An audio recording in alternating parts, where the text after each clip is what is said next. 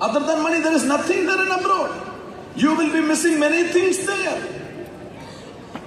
But here, people, let me ask you one question. If Shahrukh Khan gets a visa to Canada, do you think he will go? No. No. Why?